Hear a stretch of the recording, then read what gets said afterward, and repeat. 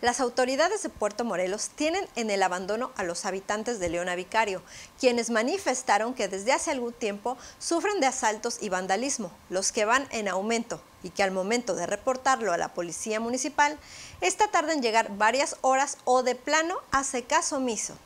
además de que las patrullas no realizan los rondines. Choferes de tricitaxis, comerciantes y diversos ciudadanos manifestaron que en la noche es cuando sucede la mayoría de los casos y que los asaltos provocaron que los comercios cierren más temprano,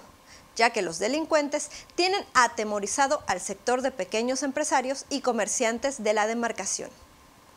Preocupa a los habitantes de la delegación que sujetos a bordo de una motocicleta han intentado llevarse a menores de edad, lo que ha ocasionado que los padres de familia ya no se sientan seguros.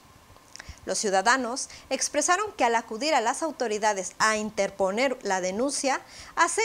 caso omiso, por lo que han tenido que recurrir a las redes sociales para manifestar lo que sucede en el onceavo municipio.